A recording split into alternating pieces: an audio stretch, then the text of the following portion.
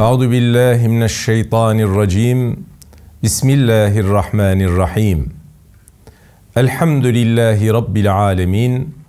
Ves salatu vesselam ala rasulina Muhammedin ve alihi ve sahbihi ecmaîn. Estaizu billah. Ud'uni estecib lekum. Sadakallahul azim. Ve kâle Resulullah sallallahu teala aleyhi ve sellem Men enzele hacetehu bi gayrillah lem tuqda hacetuhu.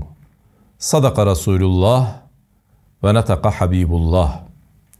Kale Ataullah el-İskenderiyyü rahmetullah aleyh Talebuke minhu ittihamun leh ve talebuke lehu gaybetun minke an ve talebuke li gayrihi li qilleti hayaike min ve talebuke min gayrihi li vücudi bu'dike anhu. Rıza babında bekle. Rahme şayan olmak istersen. Sakın bir dideyi ağlatma handan olmak istersen. Kıymetli kardeşlerim, Ataullah İskenderi'nin 21. hikmetinin bir bölümünde, önceki bölümünde talebin, istemenin dört kısmından bahsedilmişti. Bunların birincisi Allah'tan istemek, Allah'a dua edip ona hacetimizi arz etmektir. Demiştik ki biz ekseriyetle Cenab-ı Hakk'ı, onun sıfatlarını, onun isimlerini gerektiği gibi tanıyamadığımızdan dolayı bazen Allah'a hürmet ederken kula hürmet gibi, bazen Cenab-ı Hak'tan isterken beşerden birisinden ister gibi isteyebiliriz. Bu sebepten dolayı dualarımız hedefe ulaşmaz, Allah'ın gayretine dokunmaz. Bir kulun Allah'tan istemesi sadece ve sadece ubudiyet ve iftikarını ne kadar fakir olduğunu ortaya çıkarmak, izhar etmek içindir. Yoksa Allah'tan bir şey isterken bizim dua cümlelerimizle beraber Allah'ın unuttuğu bir şeye bir şeyi ona hatırlatmak değil, Allah'ın haşa gafil olduğu bir meselede onu ikaz etmek değildir asıl maksudumuz. Belki ihtiyacımızı yaratan da odur, ihtiyacımızı veren de odur. Onu biz söylemeden bilen de odur, bize söyleten de odur. Öyleyse Cenab-ı Hak'tan bir şey isterken kesinlikle Cenab-ı Hakk'ın bilmediği bir şeyi ona bildiriyor değiliz.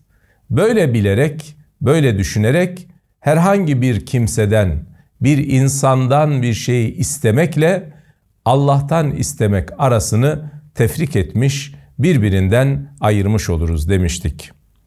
Ve talebuke lehu gaybetun minke minhu. Diğer bir hikmette de insanın Allah'ı araması, Allah'ı istemesi Cenab-ı Hakk'ın kendinden gayip olmasından dolayı değildir. Ama biz bir şeyi arıyorsak eşya içerisinde bir şeyi arıyor, soruşturuyorsak kaybettiğimiz içindir. Nerede olduğunu bilmediğimiz içindir. Halbuki Allah Celle Celaluhu'yu aramamız bizden gayip olduğu için değil, kemali zuhurundan onu arıyoruz. Allah Celle Celaluhu bizden çok uzak olduğu için değil, bizden çok yakın olduğu halde onun kurbiyetini, onun mahiyetini idrak edemediğimiz için arıyoruz. Aslında biz Cenab-ı Hakk'ı kaybetmiş değil, Allah'ı bilememiş olmanın çaresini arıyoruz. Biz kendi acziyetimizi arıyoruz. Biz kendi kusurumuzu arıyoruz ki ondan kurtulup Hazreti Allah'ın tecellisine mazhar olalım. Üçüncü bir talep şekli vardı ki ve talebuke li gayrihi li qilleti hayaike minhu buyurulmuştu. Ve talebuke li gayrihi.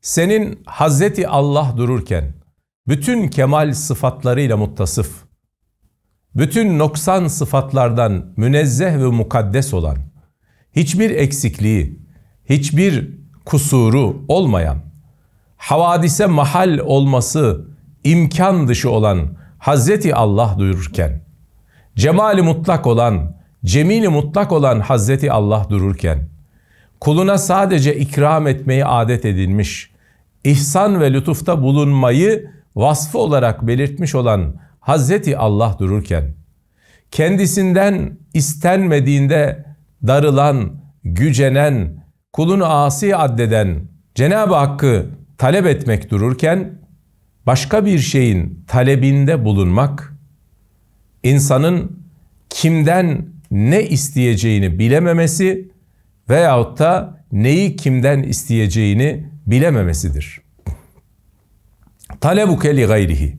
Allah dururken her şeyin, bütün sıfatların en güzeline sahip olan Allahu Ekber dururken insanın küçük şeylerin peşinden koşması lihademi hayaike minhu insanın hayasını kaybettiğinin, aklını yitirdiğinin ifadesidir. Allah Celle Celaluhu her saniyemizde kendi zatını murad etmeye, cemali ba kemalini seyretmeye bizleri muvaffak eylesin. Hasan-ı Basri Kaddesallahu sırrahu anlatıyor. Bir adam yıllarca beraber yaşadığı hanımının üstüne bir kuma alır.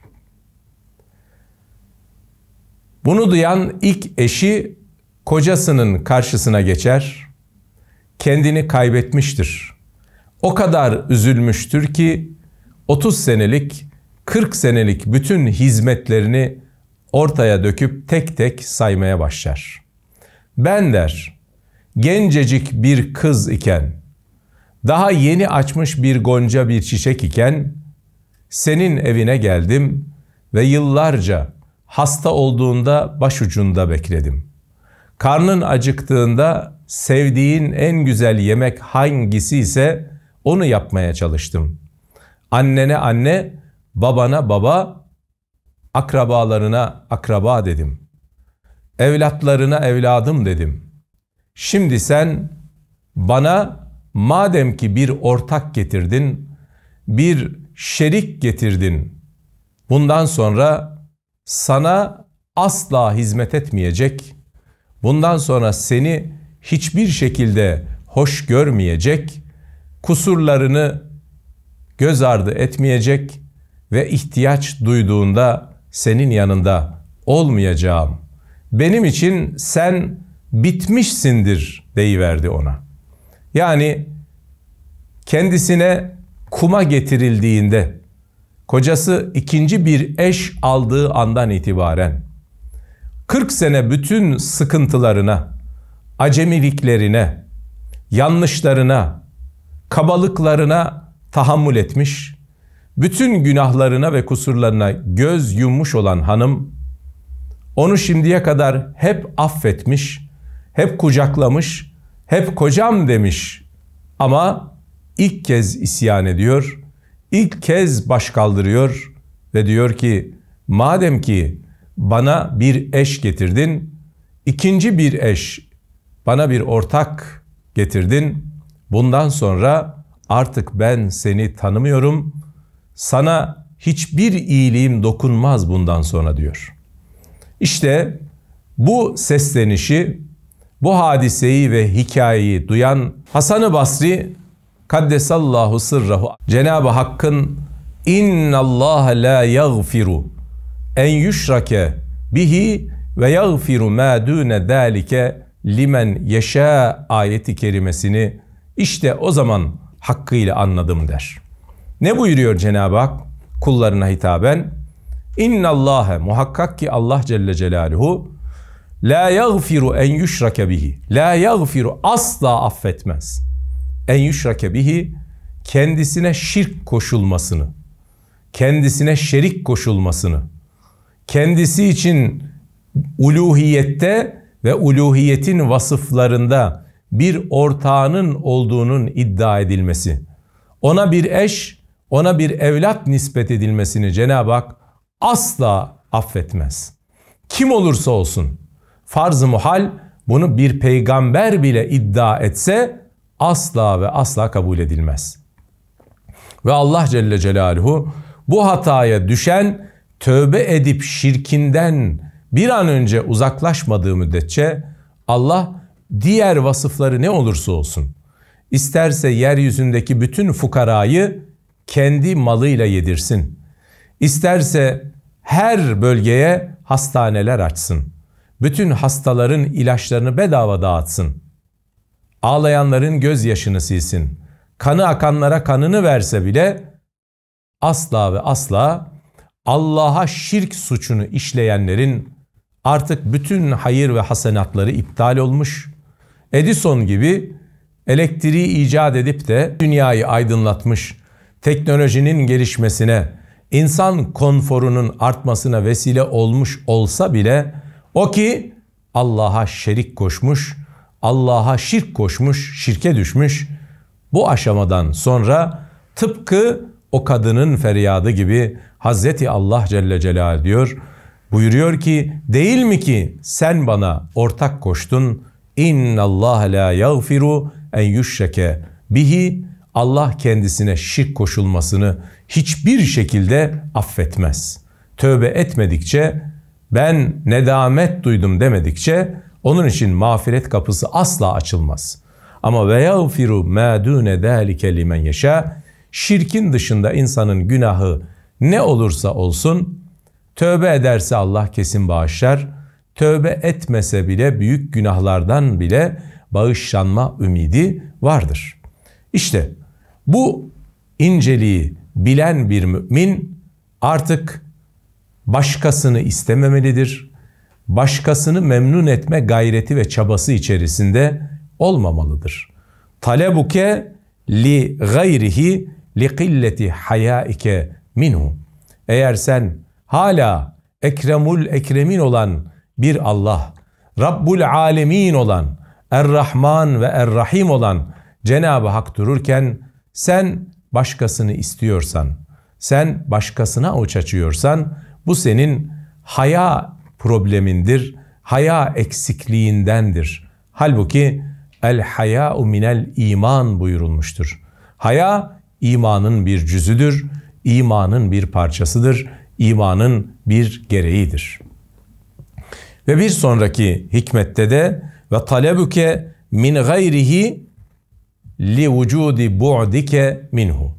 Senin Allah dururken talebuke min gayrihi Allah'tan değil de ihtiyacını senin gibi muhtaçtan istemek vücudi bu'dike minhu Allah'tan ne kadar uzak olduğunun delilidir, ifadesidir. Ya eyyühen nas, ey insanlar, entümül fukara'u ilallah. Cenab-ı Hak buyuruyor ki, hepiniz Allah'a muhtaçsınız. Vallahu huvel ganiyyül hamid. Allah Celle Celaluhu ise gani mutlaktır. Hiçbir hususta, hiçbir şeye muhtaç değildir, hiçbir kimseye muhtaç değildir. Kul kendisinden istenildiği zamanda gücenirken Allah Celle Celaluhu kendinden istemeyen kula gücenir. Seneler önce emri bil marufa giden kardeşlerimiz Üstadımız Mahmud Efendi Hazretlerinin kardeşinden bir nasihat istediler. Hocam kahvelere girdiğimizde orada haramla meşgul olan veyahut da vaktini boşa geçiren insanlara ilk başta ne söyleyeceğimiz hatırımıza gelmiyor. Bu hususta bize yardımcı olur musunuz? diye üstada danıştıklarında İsmail hocamız demişti ki o insanların karşısına çıkınca deyin ki Allah size çok darılıyor. Soruyu soranlar dediler ki hocam böyle giriş yaparsak o insanlar bizi hiç dinlemezler ki buyurunca deyince İsmail hocamız bir dakika sözümü bitirmeme müsaade edin der ve sözünü şöyle tamamlar. Onlara deyin ki Allah size çok darılıyor. Çünkü kullarım benden istemiyorlar. Kullarım benim kapıma gelmiyorlar. İhtiyaçlarını kendileri gibi muhtaçlara arz ediyorlar. İşte benden istemeyen kula ben darılıyorum. Size de bunun için dargınım deyip onlara bunu söyleyin, bunu hatırlatın buyurmuştu. İşte Ataullah İskenderi kaddesallahu sırrahu buyuruyor ki ve talebüke min gayrihi. Allah dururken Allah'tan başkasından istemek li vücudi bu'dike anhu ondan ne kadar uzaksın ki? Cenab-ı Hak senden uzak olduğu için mi? Araya başkalarını koyduğun için mi? Bir türlü sesini ona duyuramıyorsun. Rahmetli babam bize her vakit derdi ki evladım doymayacağın yerde açlığını belli etme. Evet, insanın doymayacağı yer kulun sofrasıdır. İnsanın doyacağı yer, her istediğini alacağı yer, sesini duyuracağı yer Allah'ın sofrasıdır. Bu sebepten dolayı Allah'tan isterken büyük bir ümitle istemeli ama kesinlikle insanoğlunun, mahlukatın elindekine, cebindekine tamah etmemelidir. Çünkü Ataullah İskenderi kaddesallahu sırrahu başka bir hikmetinde diyor ki ma besakat agsanu agsanu zullin illa ala bizri tama'in buyurur. İnsanın zillet ağaçları, zillet dalları ancak ve ancak başkalarının elindekine bakmaktan, muhtaç olandan istemekten dolayı ortaya çıkar. Yani insanın zilletinin artması, mahlukat içerisinde daha zelil olup zilletiyle akranlarının fevkine çıkması ancak ve ancak başkalarının malına göz dikmek, muhtaç olan, fakir olan, miskin olan insanlardan beklenti içerisine girmekle mümkündür. Bu sebepten denilmiştir ki za kalbin qanu'in fe ente ve malikut dünya sevaun. İza kunte eğer sen olabilir, olursan ve kalbin kanu'in kanaat sahibi bir insan olabilirsen o zaman seni tartacak bir terazi yok. Fe ente sen ve malikit dünya dünyaya sahip olan dünyanın en zengini adam da seninle beraber aynı seviyededir. Sen de en az onun kadar zenginsin, sen ona müsavisin denilmiştir. Allah zenginliğini, itibarını, şerefini, izzetini sadece ve sadece kendisinden alan kulların arasına bizi ilhak eylesin diyor ve hepinizi Allah'a emanet ediyorum.